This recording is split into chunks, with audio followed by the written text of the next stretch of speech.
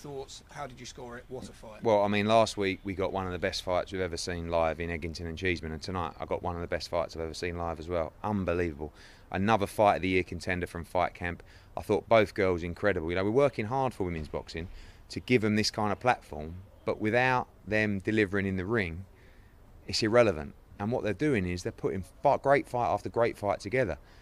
I was sitting with Dave Coldwell. I had Natasha Jonas 5 4 up going into the last. I actually scored the last round to Harper. I thought the fight was a draw. I felt that maybe if anyone was going to get the decision, it would be Natasha Jonas. Very close fight, could have gone either way. I think we have to see the rematch for that fight. And that was great timing from Natasha, just come around the corner as well. Yeah. And, um, you know, I feel that it was just a stunning fight. No one gave Natasha a chance going into that fight, really, other than the people around her. And I kept saying in interviews this week, just I could just see how focused she was. See, she was in great shape. And what she did was put in a performance. She was hurt herself in the second round. Harper was out on her feet in the eighth round.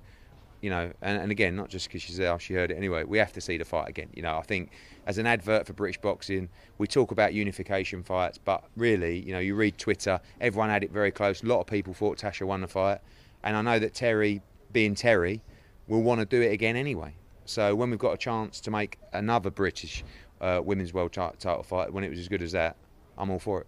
Let's start at the beginning of the night, the first of the four fights. Chris Billam-Smith came in, he looked big, yeah. he looked strong. Some big fights for him in the future, retaining his Commonwealth title. Yeah, I think what he did was he didn't allow Thorley to get into his rhythm. Everybody said in the in the build-up, if you let Thorley get into his rhythm, he can box well. He just steamrolled him. He shook him up early. Thorley, I think, was overruled by the occasion as well. And in the second round, when he started to trade up with Chris Billam-Smith, he walked onto a peach of a right hand. I think it was a major statement. I'd love to see uh, Billam-Smith fight Tommy McCarthy now for the European title. Uh, let's talk about Jonny Phillips. He's been great yeah. value in the build-up, but Hopey Price far too slick, far too really good. But but that's the kind of fights we want for our young prospects. He's two and zero. Oh, he's twenty. Jonny Mental Phillips. That's his new nickname that I've I've I've given him.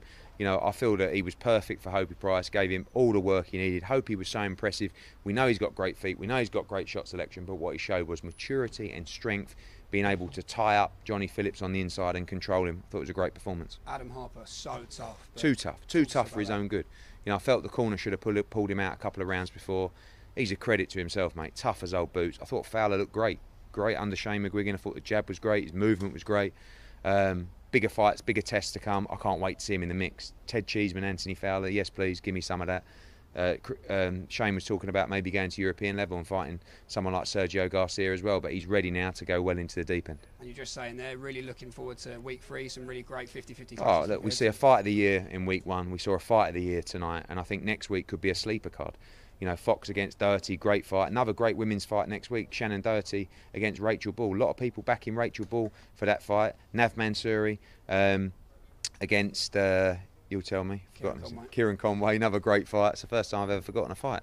Uh, and Eric Donovan against Zelfa Barrett, another really tough, tough fight for Zelfa Barrett. And Cash Wellborn It's going to be an absolute war. So, again, well done to all the fighters, incredible. And uh, roll on next Friday. Brilliant. We can't wait. We go again. Cheers. Cheers, Eddie.